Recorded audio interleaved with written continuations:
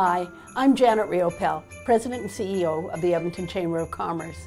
You know, in difficult times like these, we need to harness the power of supporting each other and making sure that no one gets left behind. The Salvation Army does this so well, and their Christmas campaign supports our most vulnerable. So please, do whatever you can. Support the Salvation Army this Christmas, because together we can make a difference.